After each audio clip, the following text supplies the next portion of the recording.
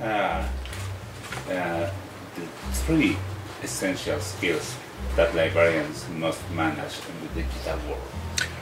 Well, there are probably more like 30 essential skills, but I'll limit it to three. One is, of course, being cognizant of and competent with the technology itself. It is always transforming, which means continuing education is absolutely essential for every professional librarian. You have to keep up with new developments in the technology.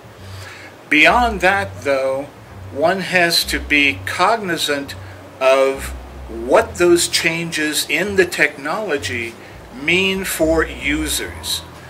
What differences will that make for the retrieval of information, let's say, for the evaluation of information, for the use of information?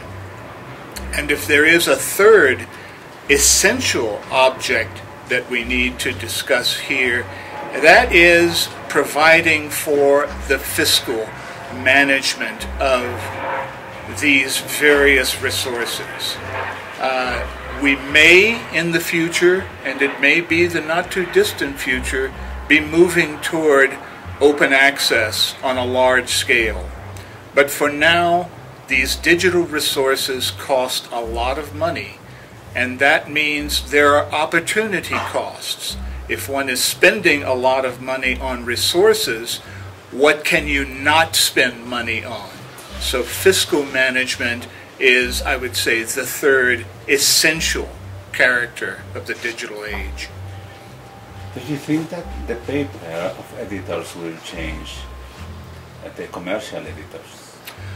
I think it's inevitable that, that w- there will be a, a sea change in the way we do business in the not too distant future.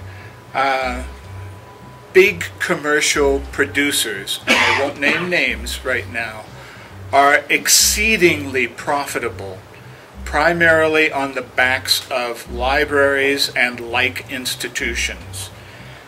That has proven to be an unsustainable model financially.